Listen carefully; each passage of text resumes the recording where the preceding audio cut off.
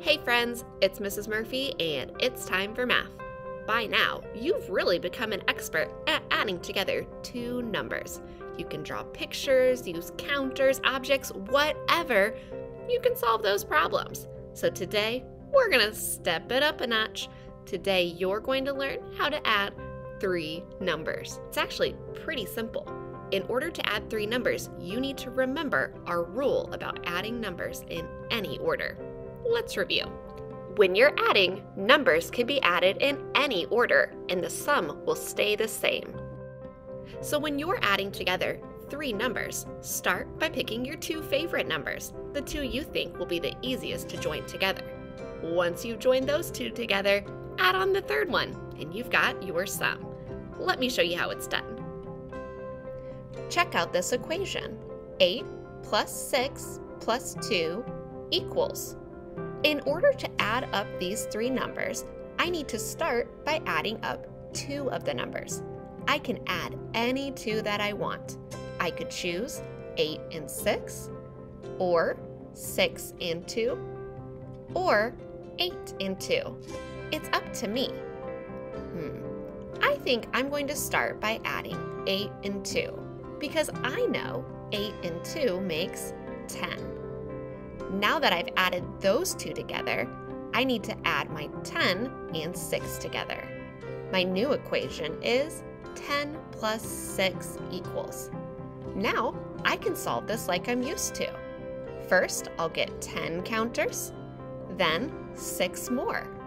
Now it's time to count them all up. Count with me. One, two, three, four, five, six, seven, eight, nine, 10, 11, 12, 13, 14, 15, 16. 10 plus 6 equals 16. But that's not the only way I could solve it. Let's try another way.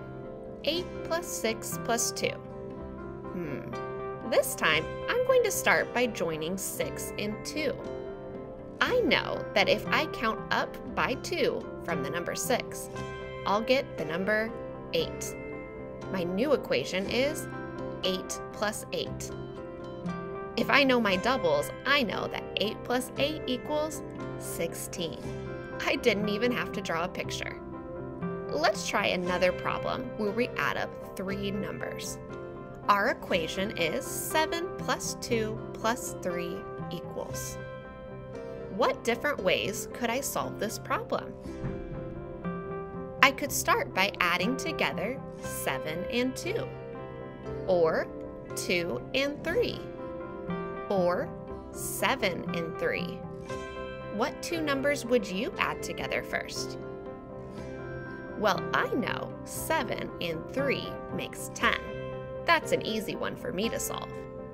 Now, my new equation is 10 plus 2 equals. I can draw my picture with counters. 10 and 2. Let's count them together. 1, 2, 3, 4, 5, 6, 7, 8, 9, 10, 11, 12. 10 plus 2 equals 12. See, I told you adding three numbers is no big deal. I especially like that you can add them in any order. That way, I can pick whatever works best for me. Now it's your turn. See if you can add three numbers together. I'll see you next time.